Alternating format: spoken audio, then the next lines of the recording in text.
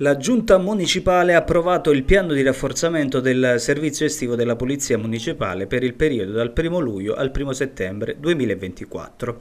I caschi bianchi della città di Agropoli saranno in servizio tutte le sere fino alle ore 1 e nei fine settimana del mese di settembre.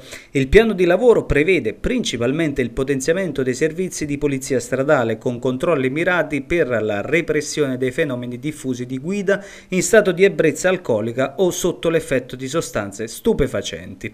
Il servizio verrà espletato soprattutto all'uscita dei locali e dei luoghi turistici maggiormente frequentati dai giovani e somira a rafforzare il senso di sicurezza da parte dei residenti e dei turisti nell'ambito della sicurezza urbana.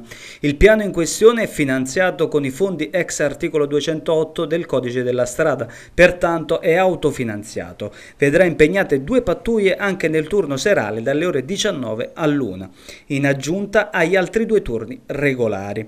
Questo è reso possibile anche grazie al rafforzamento dell'organico avvenuto con l'assunzione dell'unità a seguito del concorso espletato nel 2023. Il potenziamento dei servizi di polizia stradale prevede altresì l'incremento dei posti di controllo con il supporto dei targa system finalizzato a reprimere le violazioni al codice della strada per i veicoli circolanti sprovvisti della copertura assicurativa e delle prescritte revisioni. I fenomeni questi molto diffusi. Basti pensare che dal 1 gennaio 2024 ad oggi la Polizia Municipale ha sottoposto e sequestrato circa 270 autovetture sprovviste di copertura assicurativa.